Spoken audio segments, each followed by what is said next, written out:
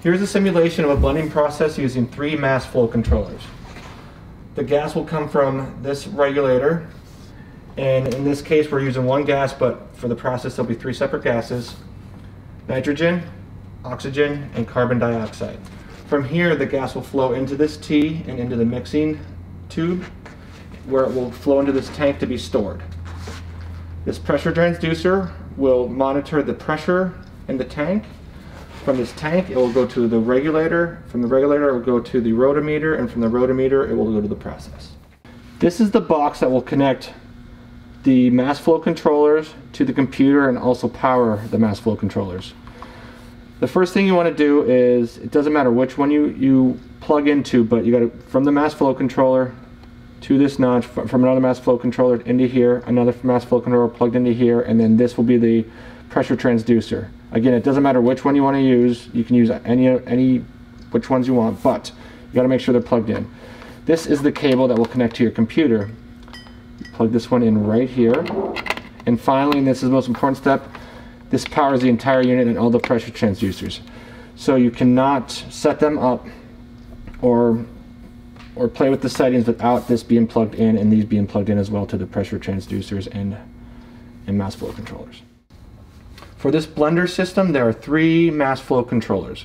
One set up for nitrogen, one set up for oxygen, one set up for CO2. In order to set up each mass flow controller, first you'll want to turn the light on in order to see the screen, which, hit, which is hitting the Matheson logo. Next, in the depressurized unit, you'll see that there's a PSIA, temperature, set point, liters per minute, standard cubic centimeters per minute, and then this button that does total slash menu. You hit that button once, and it brings you to a second menu which with more things to choose from and then just click menu main the same button a second time. And it brings you to another menu with control about tares basic configuration advanced setup main.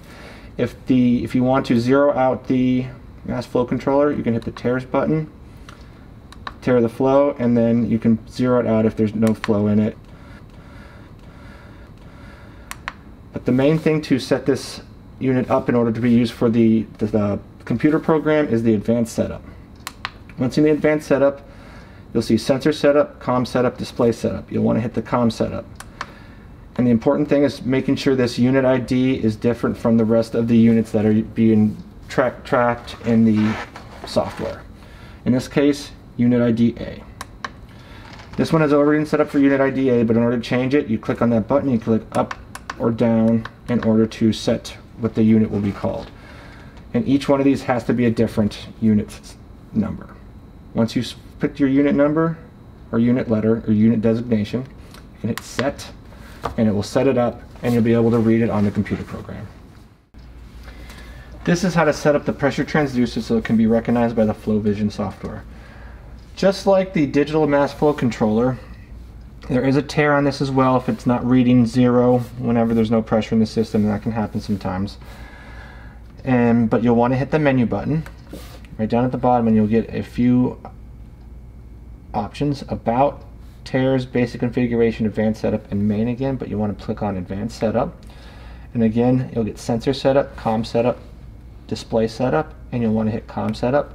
And again, you want to pick a unit ID letter that is different from all the other mass flow controllers or anything else in the system. Then you can click on that and you can either go up or down on it to pick one. In this case we're going to pick D. You click on set and then that sets it up for it to be recognized by the computer in the FlowVision software.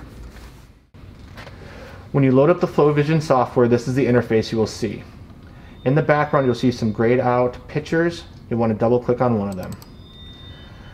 When you were setting up the system before, there were three mass flow controllers, which will be the mixing items, and the monitoring item will be the pressure transducer. So click on the mixing, and this is where the device identifier will come into play. Whichever one you gave A will be the one that comes up. There might be multiple choices for COM port, but you'll want to choose the USB serial port in parentheses COM, and that'll be some number. It could be 8, could be 10, but in this case it's 4. And then you can pick a, pick a mix percentage. This can be changed later, so you can pick whichever one you want. And again, this is the low pressure alarm. Pick whatever low pressure alarm you want, and again, this can be this can be changed at a later time. And you click on Add, and it will come up in the corner. Again, you want to set up the next mass flow controller. So double click on this one, click on mixing, pick the next device identifier, which in this case is B. It's on serial COM port 4. And then you can click on 45% and 10, just using that for this example, and you add that. And do the same thing for device C.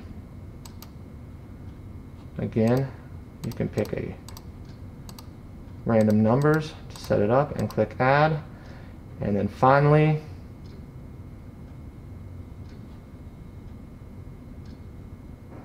after this one is added, and if you'll notice, there's an N2O2 CO2 associated with each device already. It has the model numbers, the serial numbers, and it, this the N2 already goes from 0 to 5 SLPM, O2 0 to 5 SLPM, and the CO2 0 to 0.5 SLPM, which is again is 500 SCCM.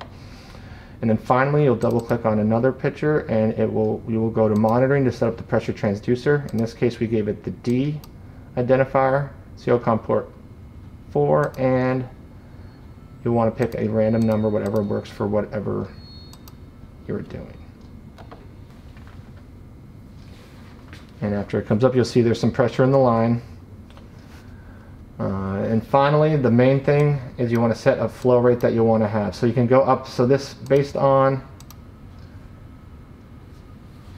based on what we have here, as you can see, I clicked in 45 for this. It will not work because it adds up over 100. You'll want to add that to a 10.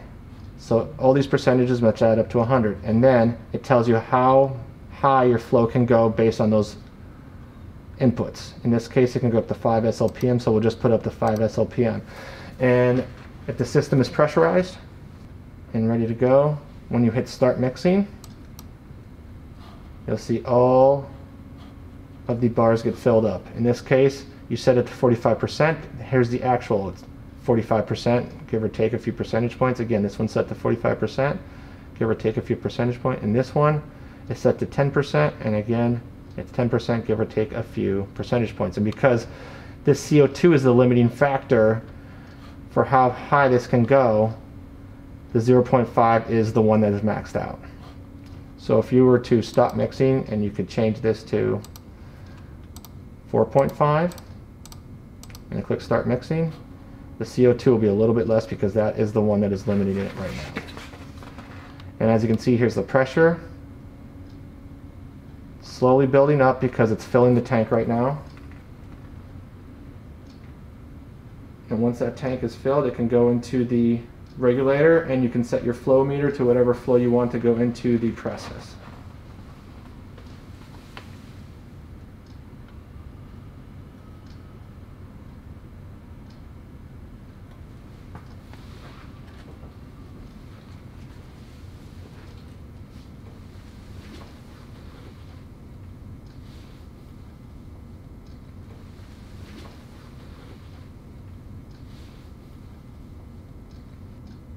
Because the flow is dropping because it's getting to up to 50 psi.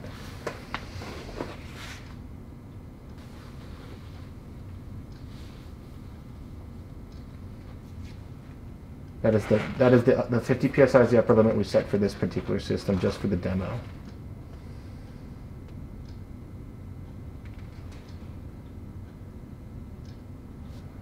And as it flows through there, the mixers the mass flow controllers will compensate and keep the tank filled and the process will continue on.